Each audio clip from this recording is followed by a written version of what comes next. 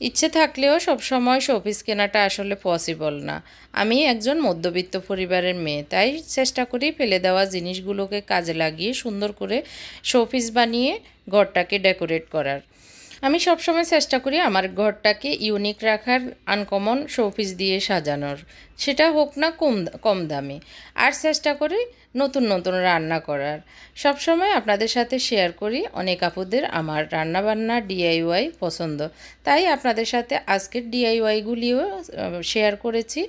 আশা করি আপনাদের ভালো লাগবে। আসসালামু আলাইকুম। Welcome back to my channel Rumi fashionable house. আমি পারানা ইসমিন রুমি চলে আসলাম আপনাদের মাঝে আরেকটি ব্লগ নিয়ে। শেষ পর্যন্ত দেখবেন, দেখলে আমার ডিআইওয়াই যে কাজগুলি করেছি, হয়তো আপনার কাজে আসতে পারে।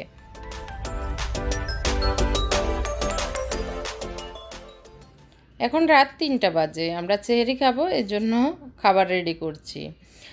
আজকের ভিডিওটি যদি আপনার কাছে ভালো লাগে, অবশ্যই কমেন্ট করে জানাবেন আর লাইক শেয়ার করতে ভুলবেন না। শেষ পর্যন্ত দেখার অনুরোধ জানাচ্ছি আবারও। রাতে সেহরিতে আপনাদের ভাই খাচ্ছে ভাত আর আমি একটু স্যান্ডউইচ বানিয়ে খাচ্ছি, কারণ ভাত খেতে ইচ্ছে করছে না। যাই হোক, রোজা রাখার নিয়ত আছে বাকিটা আল্লাহর মর্জি। যারা আমার চ্যানেলে নতুন, আমার চ্যানেলটিকে এখনও সাবস্ক্রাইব করেননি প্লিজ আমার চ্যানেলটিকে সাবস্ক্রাইব করবেন এবং পাশে থাকা ছোট্ট বেল বাটনটিও চাপ দিবেন যাতে করে আমি যে নিয়মিত ব্লগ দিই, সেগুলোর নোটিফিকেশন আপনার কাছে চলে যায়। ফজরের নামাজটা পড়ে নিয়েছি, পড়ে এই যে সূর্য উদয়টা দেখছি আর পাখির ডাকগুলো শুনছি। খুবই ভালো লাগতেছে সকালবেলার পাখির ডাকগুলি।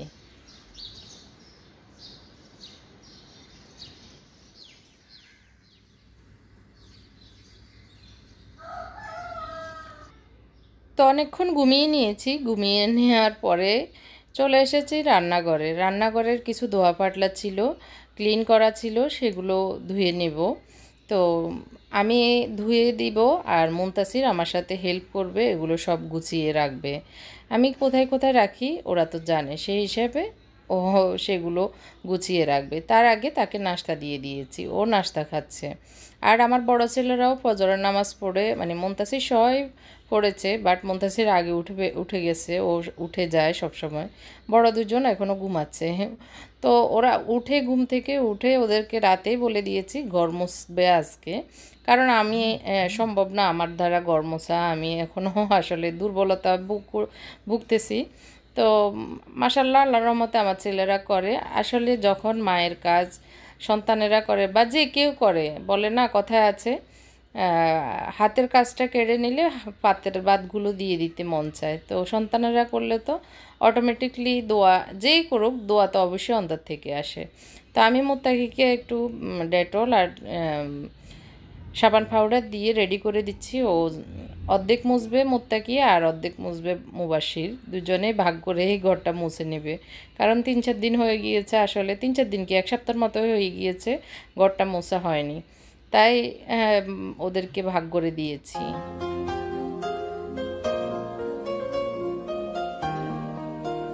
আমি যে হাতের কাজগুলি করেছি, সেগুলো আমি লাস্টের দিকে রেখেছি। কারণ সারাদিন টুকিটাকি কাজকর্ম করতে করতে সময় অনেক চলে গেছে। রাতে বসে কাজ করেছি। তো সে কারণে আসলে আমার সারাদিন কি কি করেছি একটু আপনাদের সাথে শেয়ার করছি।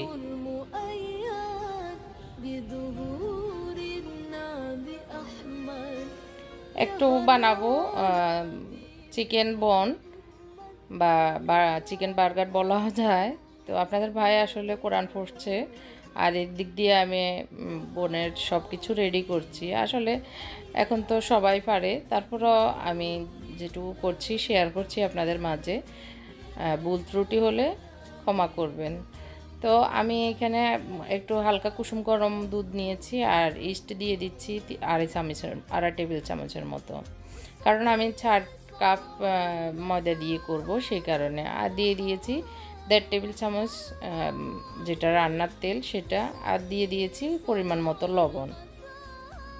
দিচ্ছে এক চামচ চিনি। সব কিছু একটু নেড়ে চেড়ে আমি এভাবে রেখে দিব, যেন ইস্টগুলো সেট হয়।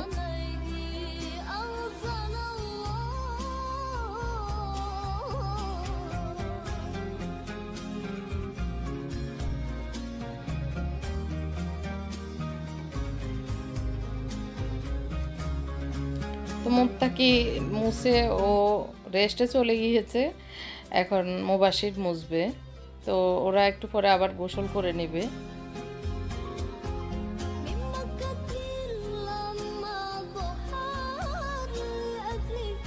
আর এদিক দিয়ে আমি আমার রান্নাঘরের কাজগুলো এগিয়ে নিচ্ছি।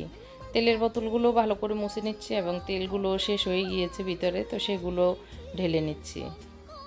আর এই সরিষার তেলটা কোথায় থেকে এনেছি? অনেক আপুরা কমেন্ট করেছেন, এই সরিষার তেলটা গাজীপুর থেকে এনেছে। ঠিকানাটা আসলে আমি ঠিক জানি না, গাজীপুরে কোন এক জায়গায়। আমি পরে আপনাদের সাথে শেয়ার করব কোথা থেকে নিয়েছে একদিন। তো সেই কারণে আসলে বলতে পারতেছি না, একদম পিওর সরিষার তেল।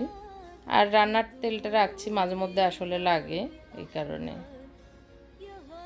এই যে অনেক সুন্দরভাবে সেট হয়ে গিয়েছে আমার ইস্টগুলি এবং অন্যান্য উপকরণ। আমি এখানে চার কাপ ময়দা দিয়ে দিচ্ছি।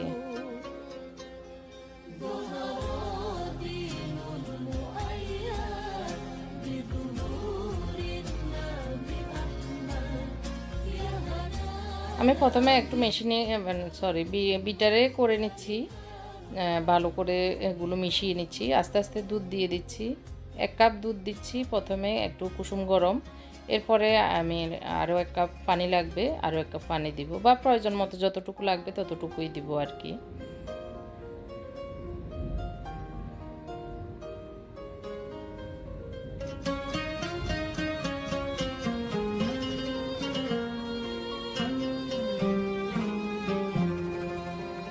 তো আমি একটু মিশিয়ে নিয়েছি, এখন হাত দিয়ে আর একটু ময়ান করে নেব। ময়ান করে নিয়ে এখন আমি উপর দিয়ে হালকা একটু তেল দিয়ে এগুলোকে একটু সেট হওয়ার জন্য দিয়ে দিব। গরম হ্যাঁ, ভাত রান্না হয়েছে ভাতের উপরে রেখে দিচ্ছি যাতে যে ইয়েটা করেছি ডোটা করেছি সেটা ভালোভাবে সেট হয় বা ফুলে। এদিক দিয়ে আমি ছোলা ভিজিয়েছি সেটা সিদ্ধ হতে বসিয়ে দিয়েছি হলুদ এবং লবণ দিয়ে।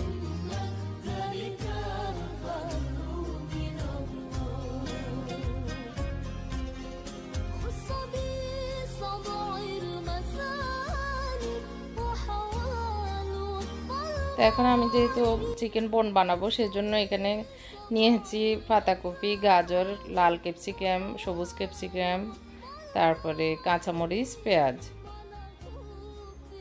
সব কিছুকে একটু ইয়েতে চপারে একটু ভালো করে সফ করে নিয়েছি। আর টেটাকে প্রথমে একটু তেল লাগিয়ে সেট করে রেখে দিয়েছি। আর খুব সুন্দরভাবে দেখতে পাচ্ছেন, ফুলে উঠেছে। তো এখন আমি এটাকে ভালো করে একটু ধমিয়ে ডোটা ঠিক করে আরেকটু ময়ান করে নেব।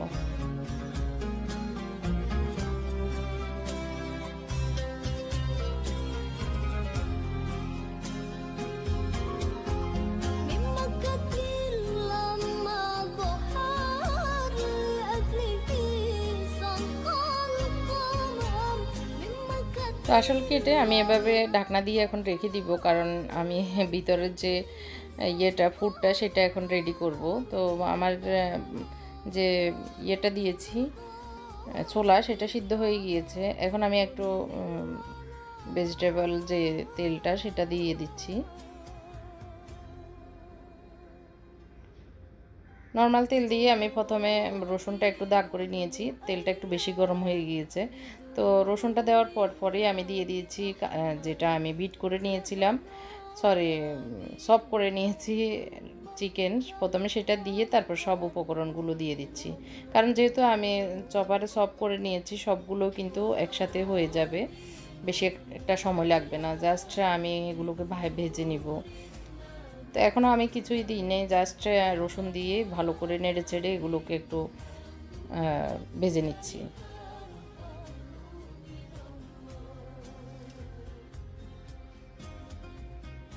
আর এভাবে ভেজে বার্গার বানালে খেতে খুবই মজা লাগে আসলে। তো আমি এখানে এক টেবিল চামচের মতো সয়া সস দিয়েছি। এক টেবিল চামচের মতো টমেটো সস দিয়েছি। এখন দিয়ে দিয়েছি লবণ। পরিমাণ মতো লবণটা দিয়েছি, দিয়ে আমি ভালো করে শুকিয়ে নিয়েছি ভাজিটা। তারপরে এখন বার্গারের আকৃতি করে বার্গারের মাঝখানে আমি যে ফুডটা করেছি চিকেন সেটা করে চিকেন ভেজিটেবল ফুড বলা যায়, সেটা আমি এখন ট্রেটাতে নিয়ে নিচ্ছি।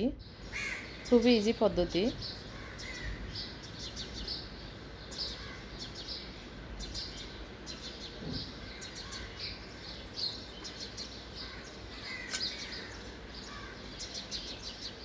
তো এখন যেহেতু লকডাউন আসলে বাচ্চারা এইসব খেতেই খুব পছন্দ করে, তো সেই হিসাবে নিজের হাতের বানানো এগুলো করে দিতেও হ্যাঁ আমার কাছেও ভালো লাগে আর ওরাও খুব পছন্দ করে খুব আনন্দ করে খায়। সেই কারণে আসলে করা আর যেহেতু রোজার ইফতারও হবে সেই হিসাবে।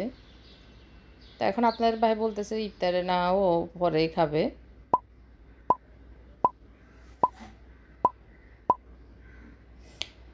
তো ছয়টা বানিয়েছি, বার্গার আর বাকি যে হ্যাঁ আটাটা ছিল সেটা দিয়ে আমি এখানে তিনটা, চারটা রুটি হয়েছে মানে নান রুটি, সেটা চেকে নিচ্ছি। খুবই সুন্দরভাবে নান রুটিগুলো হয়ে যায় আসলে। এখন আমি ছোলাগুলো ভেজে নিচ্ছি, আলুগুলোকে জাস্ট কষলিয়ে দিয়ে। তো বোনের উপরে আমি দশ মিনিট সেট করে রেখেছিলাম, ওভেনের ভিতরে ঢুকিয়ে। তো এখন আমি একটা ডিমকে ফেটিয়ে তার ব্রাশ করে নিচ্ছি। বিশ মিনিটের জন্য আমি দিয়ে দিয়েছি। আর ইফতার রেডি নান রুটি দিয়ে গরুর মাংস ছিল, সেগুলো দিয়ে খাবে। আর ছোলা, মুড়ি, আর সালাদ, শরবত এগুলোই ছিল। তো কিছু চকলেট ছিল আসলে আগেরই, তো সেগুলো চকলেটের বয়মে ঢুকিয়ে নিলাম। বার্গারটা রেডি খুব সুন্দরভাবে হয়েছে, আর বেশি একটা মানে লাল হতে দিই নেই কারণ বেশি লাল হলে ওরা বেশি ইয়ে করবে না। এই যে খুব সুন্দরভাবে হয়েছে, নরম নরম, খেতে খুবই মজা। আর যাদের আসলে ইলেকট্রিক ওভেন নাই তারা কিন্তু চুলাতেও করতে পারেন। চুলায় পাতিলে লবণ, বেশি করে লবণ দিয়ে, আধা কেজি, এক কেজির মতো লবণ দিয়ে লবণের উপরে টে বা বাটি দিয়ে বসিয়ে ডিমি আসে করে নিতে পারেন। বিশ থেকে তিরিশ মিনিট লাগবে হয়তো। তো এখন আমি বসে গিয়েছি আমার হাতের কাজ করার জন্য। এখানে আমি নিয়েছি দইয়ের একটা বক্স।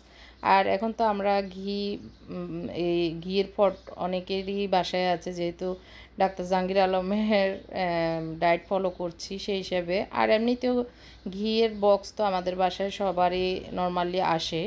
তো আমার আসলে এগুলো ফেলে দিতে মন চায় না। খুব ভালো মানে ইয়ের টিনের, তো সেই কারণে আমি রেখে দিই। প্রায় সময় রেখে এগুলো দিয়ে এগুলোর ভিতরে মশলাপাতি রাখি। তো এখন ভাবলাম যে কিছু একটা ডিআইওয়াই করি, একদম সুন্দর করে ইউনিক করে করি। তো সেই কারণে মাথায় আসলো। আর করতে বসেছি আসলে সেলাই। কিন্তু আমার দেখি সেলাইয়ের যে মোটরের একটা ইয়ে থাকে, রাবার থাকে, রাবারটা ছিঁড়ে গেছে।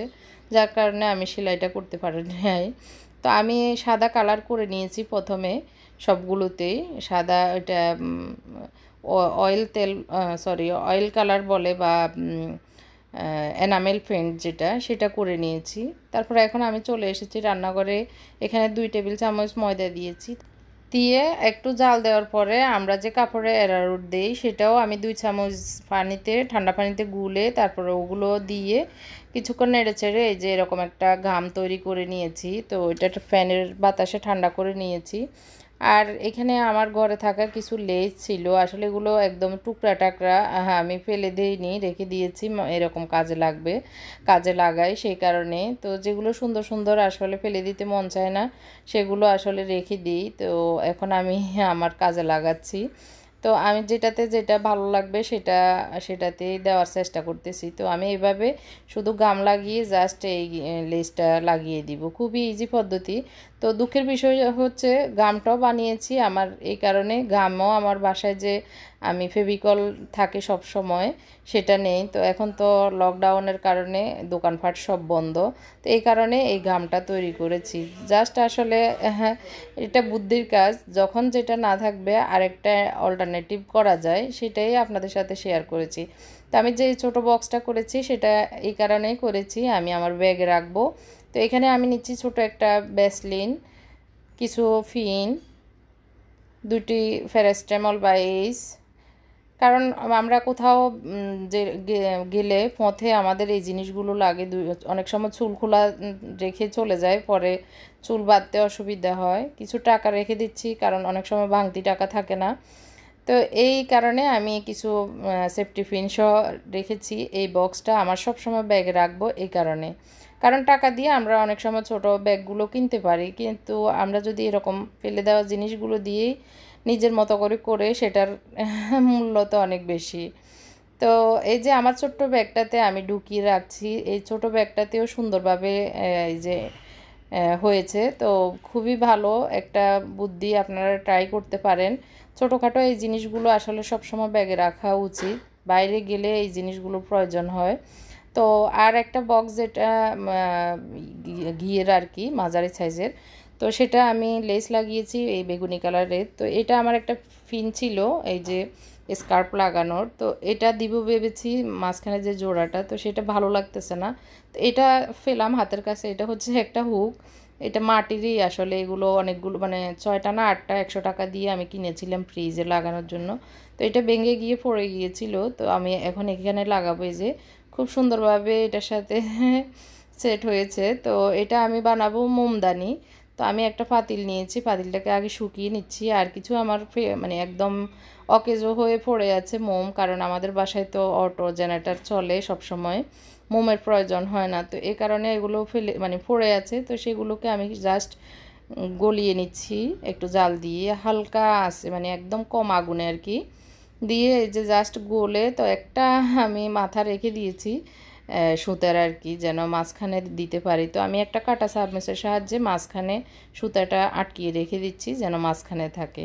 আর গ্লুগানের সাহায্যে আমি যে ইয়েটা নিয়েছি, সেটা লাগিয়ে দিয়েছি। এটা কি, কোথায় রাখব সেটা ইনশাল্লাহ আগামী আরেক দিন আরেক দিনের ব্লগে দেখাবো। আর নিচে এখানে আমি গাছ, অ্যালোভেরা গাছ, অ্যালোভেরা আসলে অনেকগুলো গাছ হয়, একটা নিচে একটা। তো এগুলো বাসার ভিতরেও রাখা যায়।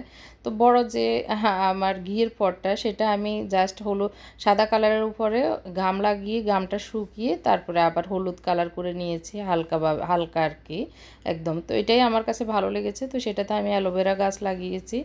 আর এটা হচ্ছে যেটা দইয়ের বক্স সে আমরা অনেক সময় এগুলো ফেলে দিই আসলে। তো এই কাজ এই ফেলে দেওয়া জিনিসগুলো এভাবে আমরা কাজে লাগাতে পারি। তো আমি এখানে সুন্দর কালারের মানে পিঙ্ক এবং সবুজ কালারের এই গাছটা আসলে নাম জানি না। তো লাগিয়েছি আর চারিদিকে সবুজ লেসটা দিয়েছি। এটা আমার একটা হাতার ছিল আর এক হাতা আসলে নেই, এখন হাতার লেসটা তো ওই হাতার লেসটাই এই বক্সে লাগিয়ে জাস্ট গাম দিয়ে লাগিয়ে দিয়েছি। তো হয়ে গিয়েছে আমার আরেকটি ডিআইওয়াই আরেকটি আনকমন ট্রিফট তো কেমন লাগল? এইটি আপনাদের কাছে আমার রিকোয়েস্ট থাকবে। কমেন্ট করে জানাবেন কোনটা আপনাদের কাছে বেশি পছন্দ হয়েছে। একটা বানিয়েছি আমি মোমদানি, একটা আমার ব্যাগে রাখার জন্য এই যে টুকিটাকি জিনিসপত্র। সেটা নাকি যে গাছ লাগানোর পটগুলো সেগুলো? তো আপনারা বাসায় এরকম ট্রাই করবেন ফেলে, জিনিসগুলো ফেলে না দিয়ে কাজে লাগানোর। আর সময়টাকেও আমরা এখন বোরিং সময়ে পাস করছি, করতেছি আর কি। তো এই সময় নামাজ কালামার পাশাপাশি মাঝে মাঝে এই কাজগুলি করলে মনটা আসলে ভালো লাগে। আসলে খারাপ সংবাদ শুনতে শুনতে মনটা অনেক বোর হয়ে যায়। তো সেই হিসাবে এই কাজগুলি করলে মনটা অনেক সময় একটুখানি হলেও শান্তি মিলে। যাই হোক, আমার আইডিয়াগুলো আপনাদের সাথে শেয়ার করেছি। ভালো লাগলে অবশ্যই শেয়ার করবেন শেয়ার করে আমার ভিডিওটা ভাইরাল করার চেষ্টা করবেন। কারণ আমি চাই আপনারা সবাই দেখেন, আপনাদেরও আপনারা আপনাদের বাস্তব জীবনে এগুলো করতে পারেন। টুকিটাকি একদিনে যে সব হয়ে যাবে তা না। তো আল্লাহ হাফেজ। আসসালামু আলাইকুম।